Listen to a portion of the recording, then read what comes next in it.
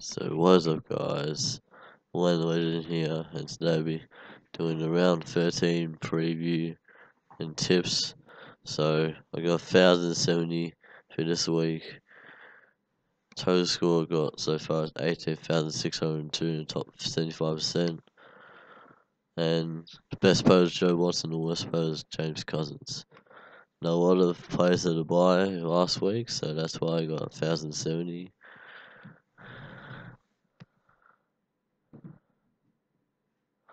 And taking the buy this week is is some of my Giants players, some of my Essendon players as well, so we won't get as high scorers.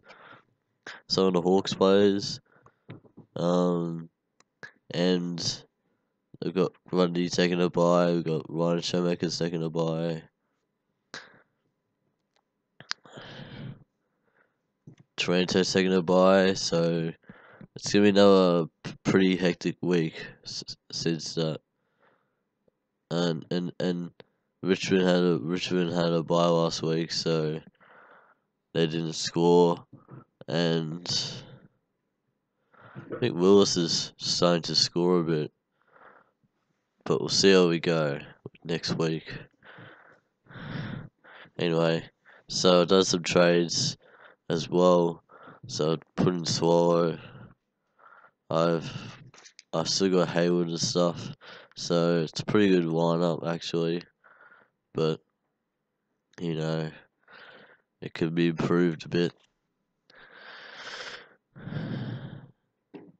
So we'll do our we'll do our tips. It's not looking the league because it's still seventeenth in the league.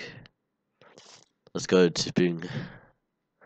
How many tips did we get right, right last week? Okay, we got one or two. We got one. That's shocking. That's absolutely shocking.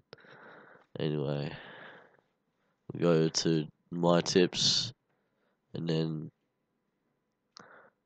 I'm called Lando tips. West Coast of Geelong. I reckon Geelong. North and St Kilda. Where are North and where St Kilda?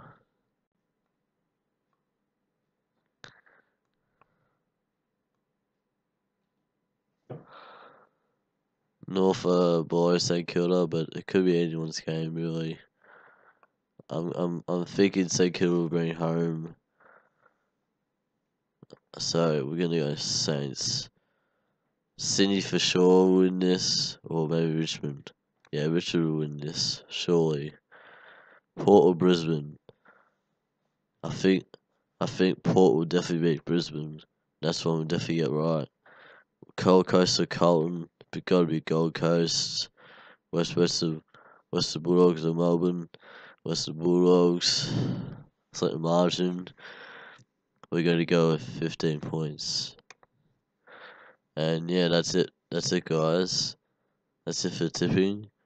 And I shall see you guys for next next week. We will do round 40 preview. Everything back to normal. No more buy rounds. So it's all good.